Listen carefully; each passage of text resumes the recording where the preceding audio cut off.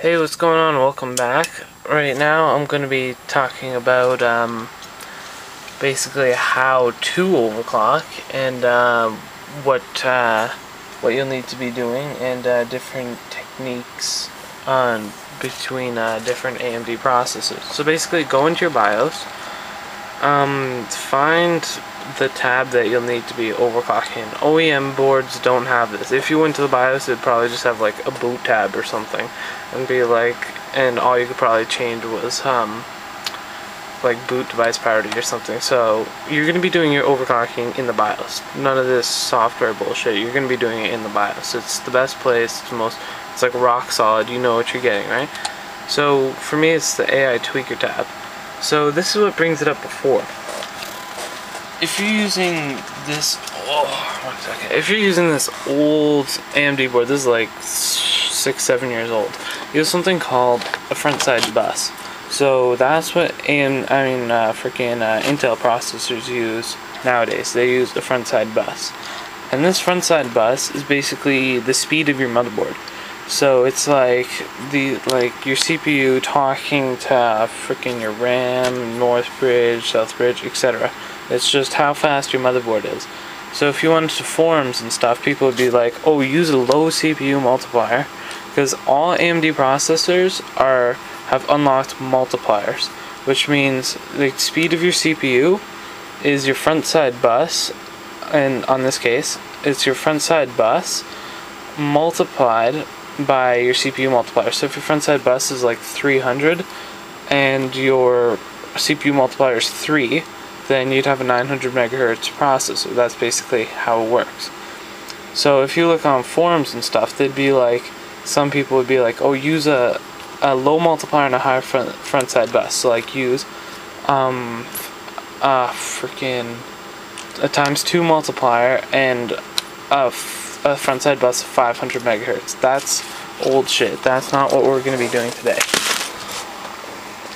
New AMD motherboards like this board and the M482 Deluxe that I have in right now have something called a reference clock.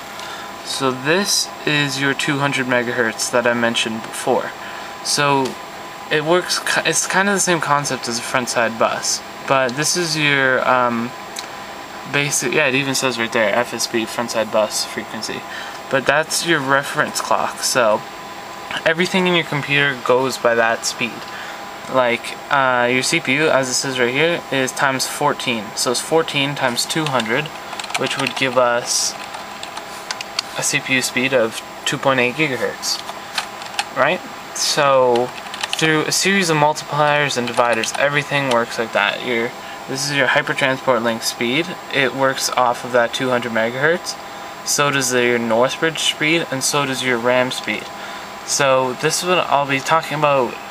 Let's say your multiplier is stuck at 14. You'd like Black Edition processors like this one, you could set it to whatever you want.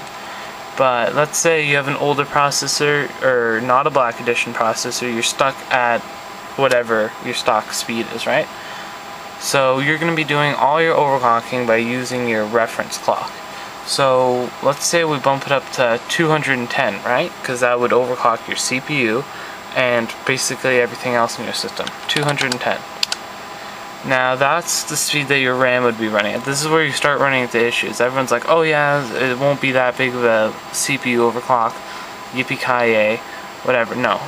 You need to worry about your RAM and your hypertransport link. My hypertransport link frequency doesn't change in real time in the BIOS, but it actually does change. So you're going to want to set everything back. Let's set this at the next multiplier down, right? Because this would be, um, actually, look, I'll set it back to 200, yeah. These are your, basically, how fast DDR2 comes in. So set it one notch back. This is your Northbridge clock, right? Set it again another notch back, set everything one notch back, and bump that up to, let's say, 210. Go in increments of 10 megahertz until you start to get into crashes and stuff like that, and then go by less. So uh, let's do a quick reboot and see what that does. Okay, I just booted back up. I didn't go into Windows, but just with that uh, bump up to 210 times 14, which is what you'll have to be doing because you have a, let's say you have a locked multiplier. Um, let's see what that does. Let's go down to system information. So instead of running at 2.8 gigahertz, you're running at 2.94. That's pretty much the concept behind this kind of overclocking, right?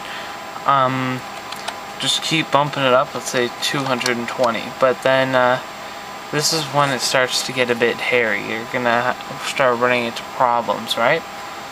When you go higher, like this, and let's say you're not going excessively high, your Northbridge is just a tiny bit overclocked, Hyper Transport Link is just a little bit, you could even, let's say I have 1066, my RAM is normally 1066 on these DIMMs, and right now it's running at 800, so you know that's pretty well stable if you're using, um, like you keep your clocks on automatic, but you still keep crashing because your CPU is faster. So when you're going to want to up your voltage, this is why I said it's important to take note of your CPU-Z um, before. So you're going to want to take note of your stock Northbridge, stock Hypertransport, stock CPU clock, your multiplier, because that's what you're multiplying by, so it's 220 times 14, um, and, uh, and your voltages, yeah. So, um, let's say the stock voltage on this is 1.3, I know that. And let's say it keeps crashing in Windows up it by point, uh, 0.2, 0.25 each time you go up. Because this is the most uh, dangerous part of overclocking. Upping your voltage, you risk blowing up your chip for one. So it's a good idea to do research beforehand. I didn't mention that in the first video. Research beforehand, like look up the maximum voltage for your chip and basically what other kind of overclocking everyone else is getting. If everyone else is getting like 3.6, 3.7, then you should aim for about that, right? So um, start upping your voltages. Um, blue screens of death uh, are normally caused by Northbridge and um, and uh, RAM instability. So up those. For DDR2, it's always 2.1. That's your stock. Uh, maybe bring that up to maybe 2.2 depending on how good your RAM is, right? And uh, your Northbridge voltage for me is 1.22. I know that's my stock. Up that a bit, and basically that's the entire concept behind overclocking. It's your reference clock times your CPU clock, and I mean times your CPU multiplier, and basically you have to just slow everything down, your RAM frequency, Northbridge and Hypertransport Link, and then you're your golden. And uh, I'll get into making sure it's stable and stuff later on.